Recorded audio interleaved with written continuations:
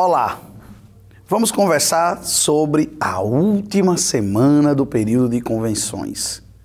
Ainda há muitos nós para serem desatados, principalmente em torno da ex-governadora Rosalba Ciarline, que mantém a tradição de fazer mistério e realizar as convenções até o último momento.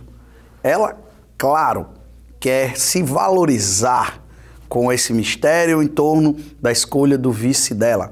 Mas não é só isso. Há dificuldades internas no rosalbismo, principalmente com o desejo de Betinho Rosado de ser o vice de Rosalba.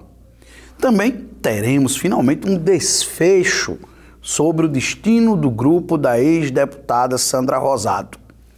Hoje, a oligarquia Rosado será o centro das atenções até o final das convenções. O prefeito Francisco José Júnior definiu vice, já reúne em torno de si uma dezena de partidos. Falta apenas homologar e confirmar mais alguns apoios que estão sendo aguardados. O mistério fica por conta dos rosados.